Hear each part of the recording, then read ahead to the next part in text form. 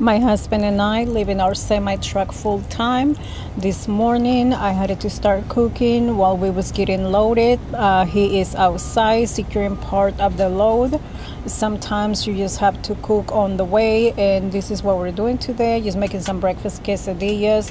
Uh, this is teamwork. He's out there working in the cold. I'm in here cooking some breakfast for him. That way he can just grab him and eat him as he's driving to our destination in Florida.